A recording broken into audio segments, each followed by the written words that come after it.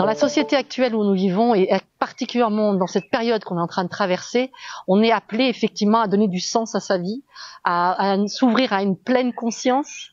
Et cette pleine conscience passe par euh, notre corps, ses besoins, euh, et tout ce qui ne se voit pas dans euh, tout ce qui ne se voit pas, qui, qui est invisible en fait, mais qui fait partie de notre corps.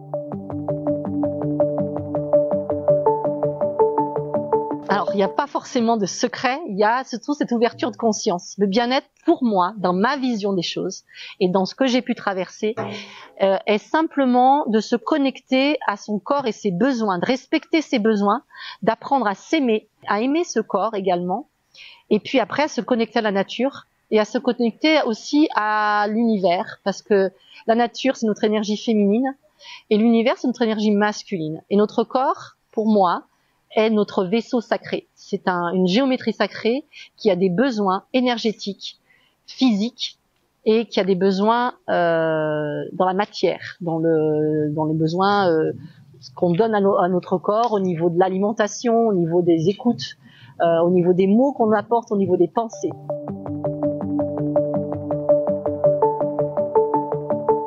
Je fais de mon mieux pour apporter à toutes les personnes qui sont prêtes à, être dans un mieux-être différents outils. Donc un support euh, par des massages Tuna, massages thérapeutiques chinois, des soins énergétiques. Euh, donc ça c'est en individuel. Je fais aussi des rituels euh, sacrés avec les ancêtres en individuel. Et puis après, tout ce qui est lié au corps, je fais des cours collectifs de pilates, du pilates pleine conscience. Donc là, on va travailler son corps, on va le renforcer, mieux le connaître. Et en le connaissant mieux, eh ben, on va apprendre à mieux se connaître, avoir plus confiance en soi par rapport à ce corps qui a besoin qu'on le renforce. Et puis, je fais des cercles de femmes. J'organise des cercles de femmes tous les mois, euh, donc sur Satilleux, pour euh, unir nos énergies et accompagner la femme à mieux se trouver. Parce que c'est par la femme que tout passe. Si la femme n'est pas alignée à soi, dans son énergie féminine, dans son corps et dans son énergie masculine, ça a un impact sur le foyer.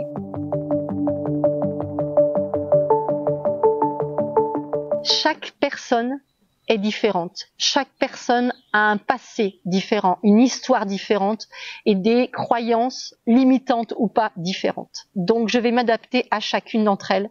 Il y a des personnes qui sont très terre à terre, qui tout ce qui est dimension spirituelle leur fait peur et eh ben on va y aller en douceur et on va aller chercher cette dimension-là qui fait partie de nous. Et puis il y a d'autres personnes qui elles sont très très très très élevées en, spirituel, mais qui sont pas du tout ancrées et incarnées dans le corps. Et eh ben je vais apporter aussi une autre approche. Donc je vais parler une langue différente pour chaque personne et pour qu'on avance en douceur au propre rythme de la personne vers sa réalisation de soi en fait, vers sa quête la plus profonde que l'être humain a, c'est la paix intérieure.